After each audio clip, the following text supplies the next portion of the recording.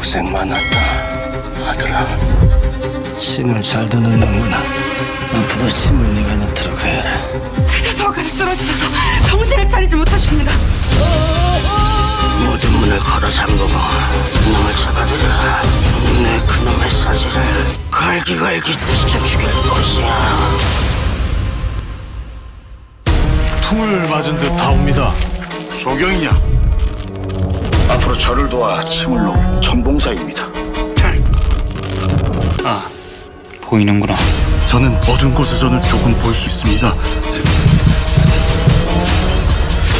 제가 보았습니다.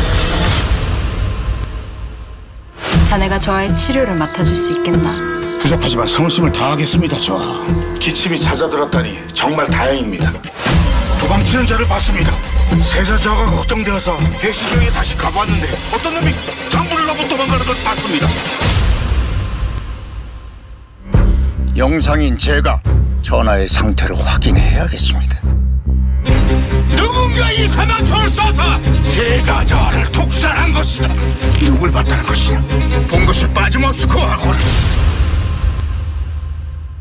여기가 네이버리스 그 우리 같은 이들이 다닐 수 있는 길이 정해져 있으니까 정신은 바짝 차려야 돼 틀림없이 뭔가 주고받았습니다. 잠깐, 내가 뭘 본 것 같아.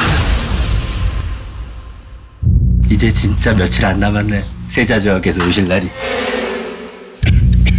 안 보고 사는 게 몸에 좋다고 하여 눈을 감고 살면 되겠는가?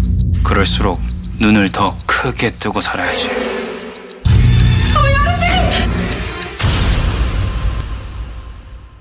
거기서 한 발자국만 움직이면 니놈들 목이 날아갈 것이야.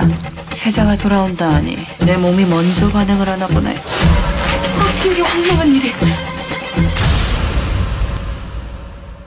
내 눈으로 직접 봐야겠다. 어찌할 것이냐? 소경이 네가 복이라도 했다는 것이냐? 목격자가 제게 준 투서에 있다. 당장 저놈을 끌어내 목을 치거라